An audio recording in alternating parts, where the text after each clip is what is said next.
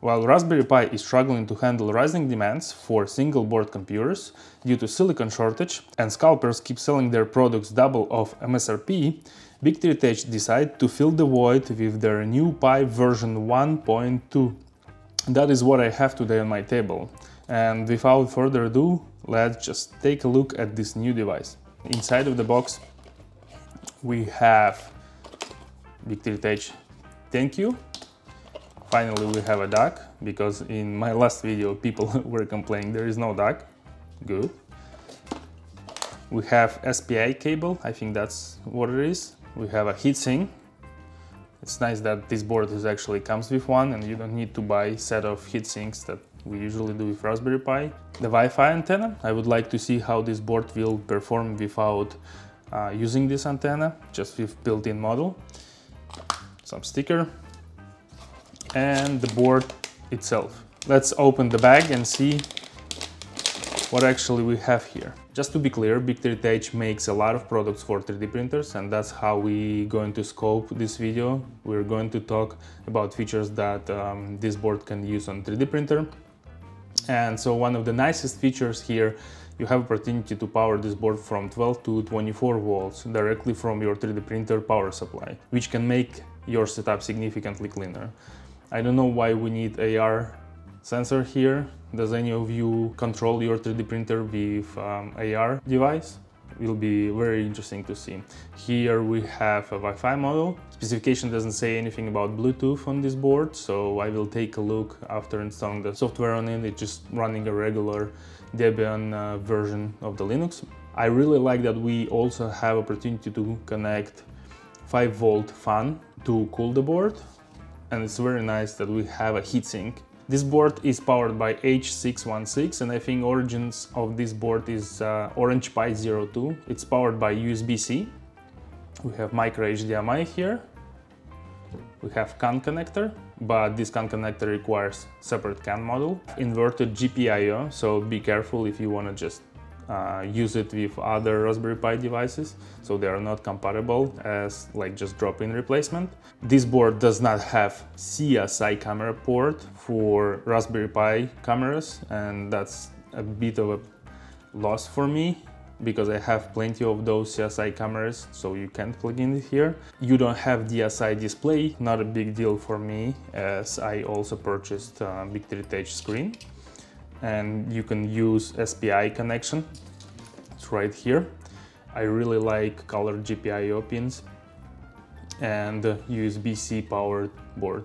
Four USB 2 ports and Ethernet port. On the other side we have microSD slot. At this point board goes for around 35 bucks without a tax and I hope it's going to be able to compete with its main competitor, Raspberry Pi 3B. I think that's what BIGTREETECH was aiming to replace. I want to see easy input shaper with no issues, running Klipper with no issues, and have opportunity to run camera with high FPS. Overall assembly quality of this board is very nice. BIGTREETECH usually does not chip out on the components. You have very sturdy nice connectors.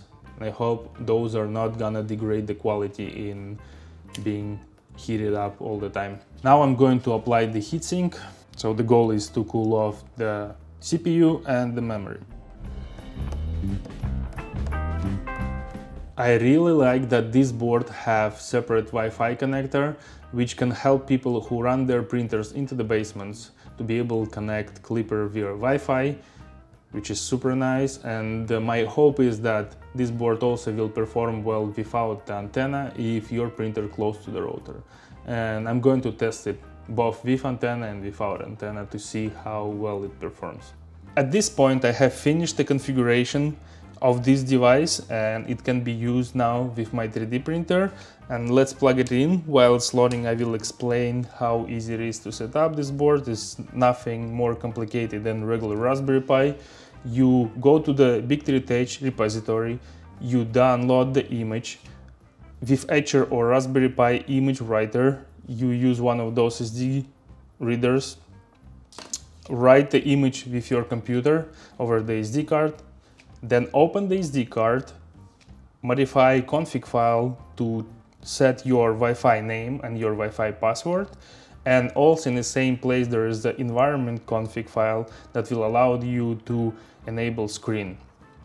In my case it is uh, BIGTREETECH TFT35SP1. It works only with Compute Model 1 and BIGTREETECH uh, new board, I think. One of the most important things in this step to have this antenna connected, because otherwise in the mid-range and long range, board will not be able to connect over your router.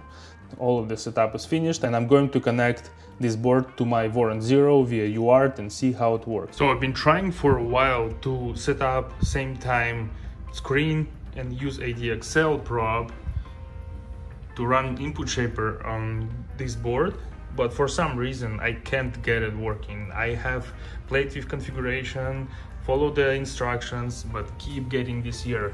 It, either my ADXL sensor is not working because um, I've been throwing it all over the place all the time, or some of the configuration does not work. Because I don't have another ADXL sensor, that's the way it is. Maybe someone in the comments will help me to figure out what was the issue.